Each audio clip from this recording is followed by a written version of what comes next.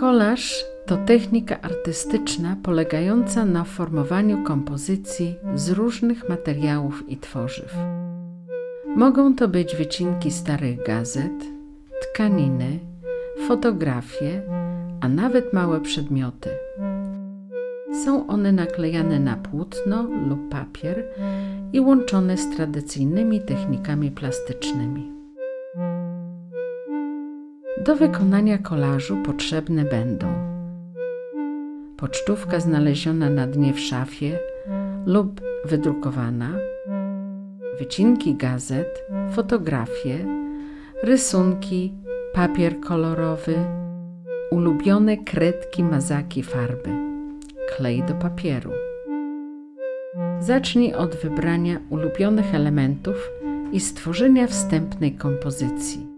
Wycinaj, przyklejaj, rysuj i eksperymentuj.